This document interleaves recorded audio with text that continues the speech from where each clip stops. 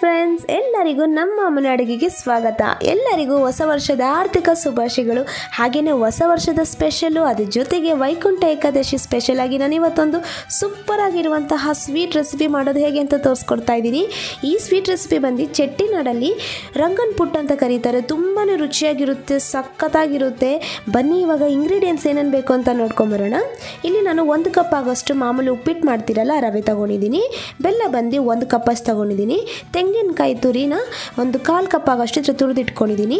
ಗೋಡಂಬಿ ಬಂದು ಒಂದು ಎರಡು ಟೇಬಲ್ ಸ್ಪೂನು, ದ್ರಾಕ್ಷಿ ಒಂದು ಟೇಬಲ್ ಸ್ಪೂನ್, ಏಲಕ್ಕಿ ಪುಡಿ ಒಂದು ಕಾಲು ಟೀ ಸ್ಪೂನ್ ಆಗೋಷ್ಟು ತಗೊಂಡಿದ್ದೀನಿ. ತುಪ್ಪ ಬಂದು ಒಂದು ಕಾಲು ಕಪ್ ಆಗೋಷ್ಟು ತಗೊಂಡಿದ್ದೀನಿ. ಮಾಡೋದು ಹೇಗೆ ಅಂತ ನೋಡೋಣ. ಮೊದಲು ಸ್ಟವ್ ಹಚ್ಚಿ ನಾನೊಂದು ಪಾತ್ರೆನ ಇಟ್ಕೊಂಡು ಮೊದಲು ನಾನು ಬೆಲ್ಲನ ಕರಗಿಸ್ಕೊತೀನಿ ಅದಕ್ಕೆ ನಾನಿಲ್ಲಿ ಒಂದು ಕಪ್ ಬೆಲ್ಲಗೆ ಮೂರು ಕಪ್ಪು ನೀರು ಹಾಕ್ಕೊಂಡಿದ್ದೀನಿ ಕರೆಕ್ಟಾಗಿರುತ್ತೆ ಅಳತೆ. ನೋಡಿ, ಇಲ್ಲಿ ನಾನು ಒಂದು ಕಪ್ ತಗೊಂಡಿದ್ದೀನಿ ಬೆಲ್ಲ. ನಿಮಗೆ ಸ್ವೀಟ್ ಜಾಸ್ತಿ, ಬೇಡ, ಕಡಿಮೆ ಅಂದರೆ ನೀವು ಮುಕ್ಕಾಲು ಕಪ್ ಅಷ್ಟು ಬೆಲ್ಲನ ತಗೋಬೋದು. ಒಂದು ಕಪ್ ಹಾಕಿದ್ರೆ ಕರೆಕ್ಟಾಗಿರುತ್ತೆ ಸ್ವೀಟು. ನೋಡಿ, ಬೆಲ್ಲ ಎಲ್ಲ ಚೆನ್ನಾಗಿ ಕರಗಬೇಕಷ್ಟೇ ಪಾಕ ಬರೋವಂತಹ ಅವಶ್ಯಕತೆ ಇಲ್ಲ. ಇವಾಗ ಬೆಲ್ಲೆಲ್ಲ ಕರಗಿದೆ ನಾನು ಸಪ್ರೇಟಾಗಿ ಎತ್ತಿಟ್ಕೊಂಡಿದ್ದೀನಿ. ಇವಾಗ ಒಂದು ಕಡಾಯಿಗೆ ನಾನು ತುಪ್ಪನ ಹಾಕ್ಕೊಂಡಿದ್ದೀನಿ ಒಂದು ಟೇಬಲ್ ಸ್ಪೂನ್ ತುಪ್ಪ ಹಾಕ್ಕೊಂಡು ಮೊದಲು ನಾನು ಗೋಡಂಬಿನ ಚೆನ್ನಾಗಿ ಇದೇ ಥರ ಫ್ರೈ ಮಾಡ್ಕೊತಾ ಇದ್ದೀನಿ. ನೋಡಿ, ಲೈಟಾಗಿ ಕಲರ್ ಚೇಂಜ್ ಆದಮೇಲೆ ನಾನು ಹಾಗೆಯೇ ದ್ರಾಕ್ಷಿನ ಹಾಕ್ಕೊಂಡಿದ್ದೀನಿ. ನೀವು ಇದಕ್ಕೆ ಬೇಕಂದರೆ ಚಿಕ್ಕದಾಗಿ ಕಟ್ ಮಾಡಿರುವಂತಹ ಬಾದಾಮ್ ಕೂಡ ಹಾಕೋಬೋದು. ಚೆನ್ನಾಗಿರುತ್ತೆ. ಇವಾಗ ನೋಡಿ ಇದೆಲ್ಲ ಚೆನ್ನಾಗಿ ಫ್ರೈ ಆಗಿದೆ. ಒಂದು ಟೆನ್ ಟು ಫಿಫ್ಟೀನ್ ಸೆಕೆಂಡ್ಸ್ ನಾವು ಲೋ ಫ್ಲೇಮಲ್ಲಿ ಫ್ರೈ ಮಾಡಿಕೊಂಡ್ರೆ ಸಾಕಾಗುತ್ತೆ. ಇವಾಗ ಸಪ್ರೇಟಾಗಿ ಒಂದು ಪ್ಲೇಟಲ್ಲಿ ಹಾಕಿಟ್ಕೊಂಡಿದ್ದೀನಿ. ಇವಾಗ ನಾನು ಅದೇ ಕಡಾಯಿಗೆ ನಾನು ತೆಂಗಿನಕಾಯಿ ತುರಿನ ಹಾಕ್ಕೊಂಡಿದ್ದೀನಿ ಈ ಥರ ತೆಂಗಿನಕಾಯಿ ತುಪ್ಪದಲ್ಲಿ ಹಾಕಿ ಹುರಿಯೋದ್ರಿಂದ ತುಂಬಾ ಟೇಸ್ಟಿಯಾಗಿರುತ್ತೆ ಈ ಥರ ಲೈಟಾಗಿ ಕಲರ್ ಚೇಂಜ್ ಆಗೋವರೆಗೂ ನಾವು ಫ್ರೈ ಮಾಡಿಕೊಂಡ್ರೆ ಸಾಕಾಗುತ್ತೆ ಫ್ರೆಂಡ್ಸ್ ನೋಡಿ ಇದೇ ಥರನೇ ನಾನು ಒಂದು ಫಿಫ್ಟೀನ್ ಸೆಕೆಂಡ್ಸು ಚೆನ್ನಾಗಿ ಫ್ರೈ ಮಾಡಿಕೊಂಡು ಸಪ್ರೇಟಾಗಿ ಎತ್ತಿಟ್ಕೊಂಡಿದ್ದೀನಿ ಒಂದು ಪ್ಲೇಟಲ್ಲಿ ಇವಾಗ ನಾನು ಅದೇ ಕಡೆಗೆ ಮತ್ತೆ ನಾನೊಂದು ಎರಡು ಮೂರು ಟೇಬಲ್ ಸ್ಪೂನ್ ತುಪ್ಪನ ಹಾಕ್ಕೊಂಡಿದ್ದೀನಿ ತುಪ್ಪ ಹಾಕಿದಾದಮೇಲೆ ರವೆನ ಹಾಕ್ಕೊಂಡಿದ್ದೀನಿ ರವೆನ ಚೆನ್ನಾಗಿ ನಾವು ಹುರ್ಕೋಬೇಕಾಗುತ್ತೆ. ಈ ಚೆನ್ನಾಗಿ ಫ್ರೈ ಮಾಡೋದ್ರಿಂದ ಸೂಪರಾಗಿ ಬರುತ್ತೆ. ಟೇಸ್ಟ್ ಮಾತ್ರ. ನೋಡಿ, ಇದೇ ಥರನೇ ಮೀಡಿಯಮ್ ಫ್ಲೇಮಲ್ಲಿ ಚೆನ್ನಾಗಿ ರವೆ ಕಲರ್ ಚೇಂಜ್ ಆಗೋವರೆಗೂ ನಾವು ಫ್ರೈ ಮಾಡ್ಕೋಬೇಕಾಗುತ್ತೆ.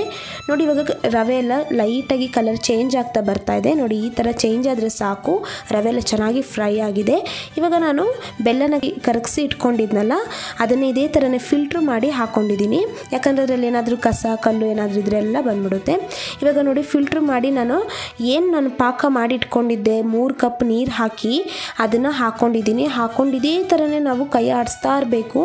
ಈ ಥರ ಕೈ ಆಡಿಸೋದು, ಆಡಿಸಿದ್ರೆ ನಾವು ಅದೇನು ಗಂಟಿದೆ, ಅದೆಲ್ಲ ಗಂಟೆಲ್ಲ ಇರೋದಿಲ್ಲ. ಇದೇ ಥರನೇ ಚೆನ್ನಾಗಿ ಕೈ ಆಡಿಸಿ ಸ್ವಲ್ಪ ಅದು ಬೆಂದ ಮೇಲೆ ಈ ಥರ ನಾನು ಒಂದು ಟೇಬಲ್ ಸ್ಪೂನ್ ತುಪ್ಪನ ಹಾಕ್ಕೊಂಡಿದ್ದೀನಿ ತುಪ್ಪ ಹಾಕ್ಕೊಂಡು ಚೆನ್ನಾಗಿ ಇದೇ ಥರನೇ ನಾವು ಕೈ ಆಡಿಸ್ತಾ ಇದ್ದೀವಿ ಅದು ಫುಲ್ ಸಾಫ್ಟಾಗಿ ಬರುತ್ತೆ. ಹಾಗೆಯೇ ಚೆನ್ನಾಗಿ ಬೇಯುತ್ತೆ ಟೇಸ್ಟು ಸಖತ್ತಾಗಿ ಬರುತ್ತೆ.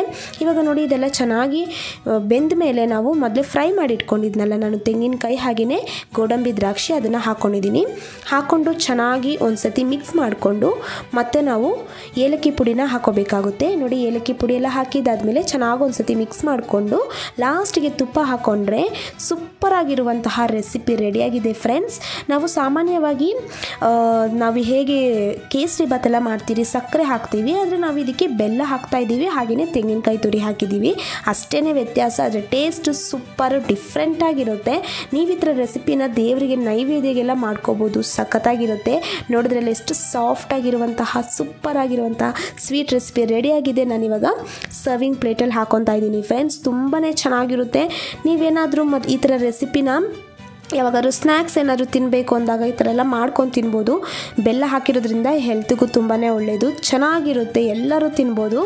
ನೋಡಿದ್ರಲ್ಲ ಫ್ರೆಂಡ್ಸ್ ಎಷ್ಟು ಈಸಿಯಾಗಿ ಮಾಡ್ಕೋಬೋದು ಅಂತ ನಿಮಗೆ ರೆಸಿಪಿ ಇಷ್ಟ ಆಗಿದ್ರೆ ನೀವು ಮನೇಲಿ ಸತಿ ಟ್ರೈ ಮಾಡಿ, ಹೇಗೆ ಬಂತು ಅಂತ ಕಮೆಂಟ್ ಮಾಡಿ. ಹಾಗೆಯೇ ನಮ್ಮ ಅಮ್ಮನ ಅಡುಗೆ ಚಾನಲ್ನ ಸಬ್ಸ್ಕ್ರೈಬ್ ಮಾಡ್ಕೊಂಡಿಲ್ಲ ಅಂದರೆ ಸಬ್ಸ್ಕ್ರೈಬ್ ಮಾಡ್ಕೊಳ್ಳಿ. ಪಕ್ಕದಲ್ಲಿ ಬರುವ ಬೆಲ್ಲೈಕನ್ನ ಕ್ಲಿಕ್ ಮಾಡ್ಕೊಳ್ಳಿ. ವಿಡಿಯೋ ನೋಡಿರುವ ಎಲ್ಲ ವೀಕ್ಷಕರಿಗೂ ಧನ್ಯವಾದಗಳು.